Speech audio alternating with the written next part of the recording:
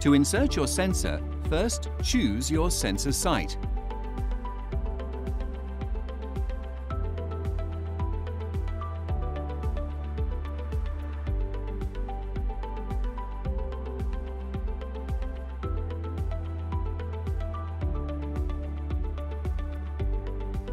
Before you begin, wash and dry your hands. Choose a site on the back of your upper arm with enough fat to avoid muscle and a site that is not likely to be bumped or pushed. Clean your site with an alcohol wipe and let it dry for at least 10 seconds.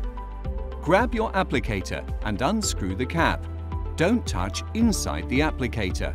Press and hold the applicator firmly against your skin until the clear safety guard is pushed in. Now push the button and remove the applicator. To help keep the patch on your skin, rub firmly around the patch three times.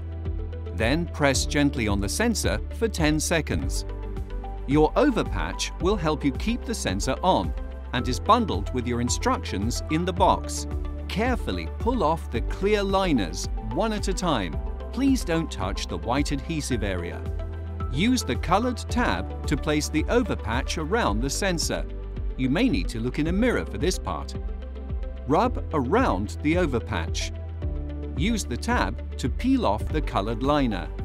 Then rub around the overpatch.